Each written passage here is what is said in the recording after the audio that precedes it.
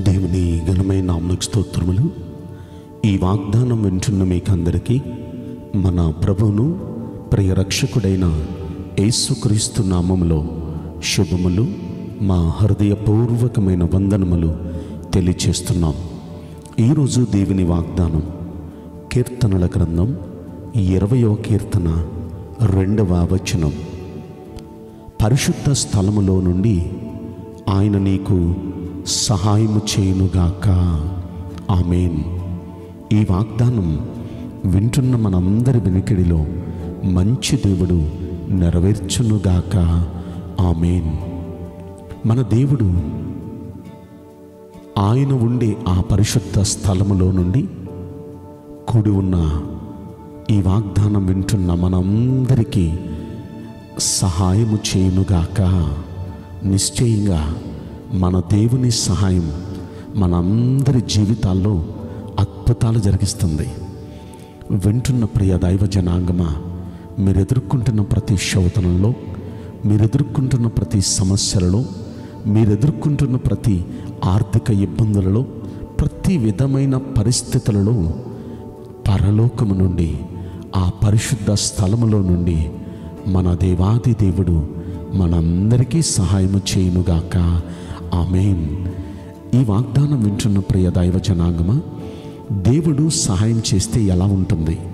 Bible గ్రంథంలో మనందరికీ బాగా పరిచయస్తుడు ఆశా అనే భక్తుడు. దినవృత్తాంతముల రెండవ గ్రంథం పద్నాలుగవ అధ్యాయంలో ఈయన గురించి మనం చదువుకుంటాం.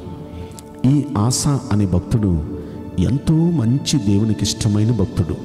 ఎందుకంటే అతడు దేవుని దృష్టికి అనుకూలంగా నడిచేవాడు. దేవుని దృష్టిలో ఎంతో అనుకూలుడు. అంటే ఆయనకి ఇష్టం లేని పనులు మానేసుకొని ఆయనకి ఇష్టమైన రీతిగా జీవిస్తున్న మంచి భక్తుడైన ఒక రాజు. ఈయన గురించి ఇంకా మనం చదవాలంటే యథార్థంగా నడిచినవాడు. చాలా యథార్థవంతుడు. యథార్థంగా అబద్ధానికి దూరంగా మోసానికి దూరంగా యథార్థంగా నడిచినవాడు. అంత మాత్రమే కాదు దేవునికి ఇష్టం లేని ఆరాధనలు దేవునికి ఇష్టం లేని పనులు అతడు తొలగించేశాడు. వాటిని కొట్టివేశాడు. దేవునికి ఇష్టం లేనివన్నీ తీసి పాడేశాడు నాలుగవది యహోవాను ఆశ్రయించాడు. ఆయన్ని తప్ప ఇంకెవరిని నమ్ముకోను అని దేవుణ్ణి ఆశ్రయించాడు. ఐదవది ధర్మశాస్త్రాన్ని బట్టి క్రియలు జరిగించటం ప్రారంభించాడు. అంటే వాక్యానుసారంగా కార్యాలు చేయటం ప్రారంభించాడు. ఇలా ఒక్కొక్కటి మంచి పరిస్థితులు మంచి భక్తి. దేవునికి అనుకూలంగా నడుస్తున్నాడు యథార్థంగా ఉంటున్నాడు దేవునికి ఇష్టం లేనివన్నీ తొలగించేసుకున్నాడు దేవుణ్ణి ఆశ్రయించటం ప్రారంభించాడు ధర్మశాస్త్రాన్ని బట్టి క్రియలు జరిగించడం అంటే వాక్యానుసారంగా క్రియలు జరిగించడం ప్రారంభించాడు. ఈ ఐదు భక్తి చేస్తూ ఉండగా దేవుడు ఎంతో చక్కని నెమ్మదినిచ్చాడు చక్కని ప్రశాంతతనిచ్చాడు తనకి. దేశం ఎంతో బాగుంది ఎంతో నెమ్మదిగా ఉంది ఆ నెమ్మదిగా ఉన్న ఆ సమయంలో వాళ్ళు అంతకంతకు అంతకంతకు ఆ దేశంలో ఉన్న కట్టడాలని కడుతూ అభివృద్ధి పొందుతూ వచ్చారు వాళ్ళు. అలా అభివృద్ధి పొందుతూ వచ్చిన సమయంలో వారి మీదకి ఒక శత్రువు వచ్చాడండి కోషియుడు. పద్నాలుగవ అధ్యాయంలో తొమ్మిదో వచనంలో మనం చూస్తాం రెండవ దినవృత్తాంతంలో గ్రంథం.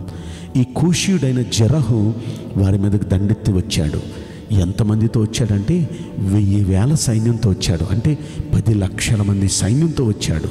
అంత మాత్రమే కాదు అతడు మూడు వందల రథాలను తీసుకుని వచ్చాడు. ఇప్పుడు ఫుల్ ఫ్లెడ్జ్డ్గా వచ్చాడు. ఈయనేమో అంత ప్రిపేర్డ్గా లేడు. తనకున్న సైన్యం ఎంతమంది అని లెక్కేస్తే యూదావారు మూడు లక్షల మంది ఉన్నారు. బెన్యామిని వాళ్ళు రెండు లక్షల ఎనభై వేల మంది ఉన్నారు. అంటే టోటల్ ఐదు లక్షల ఎనభై వేల మంది సైన్యం మాత్రం ఆశాకున్నారు.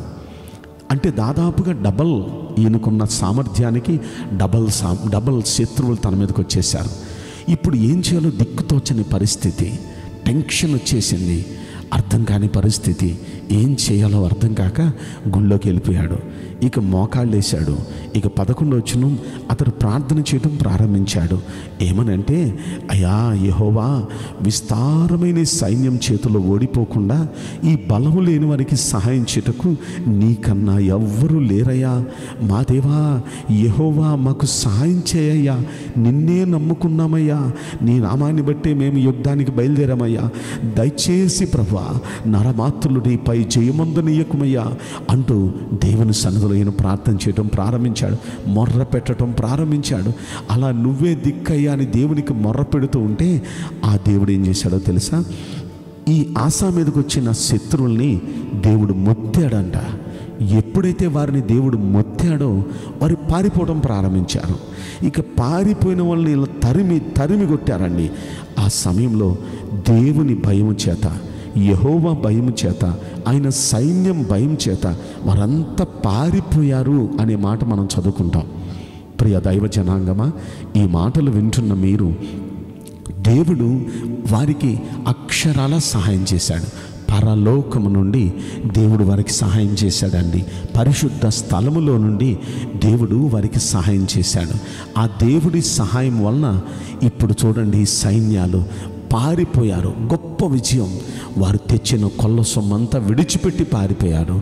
బౌళ్ళంత విస్తారమైన కొల్ల సొమ్మును వారు సంపాదించుకొని మరలా వారి దేశానికి తెచ్చుకున్నట్లుగా మనం చూస్తాం. ప్రియ దైవ జనాంగమ అలనాడు ఆశాకు దేవుడు దిగివచ్చి ఇక నువ్వే దిక్కయ్యా నువ్వే మాకు సహాయం చేయాలయ్యా.